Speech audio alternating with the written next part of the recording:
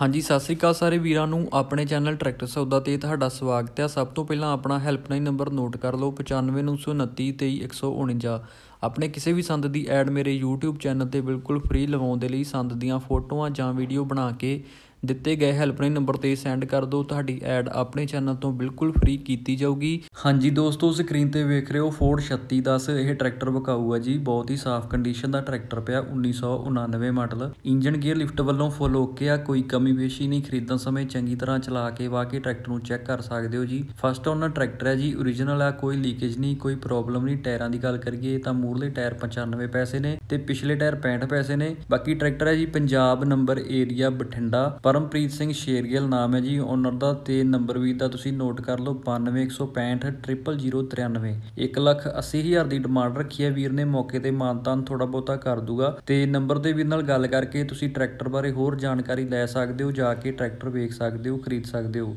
ਅੱਜ ਦੀ ਵੀਡੀਓ ਵਧੀਆ ਲੱਗੀ ਤਾਂ ਵੀਡੀਓ ਨੂੰ ਲਾਈਕ ਕਰੋ ਸ਼ੇਅਰ ਕਰੋ ਤੇ ਚੈਨਲ ਨੂੰ ਸਬਸਕ੍ਰਾਈਬ ਜ਼ਰੂਰ ਕਰੋ।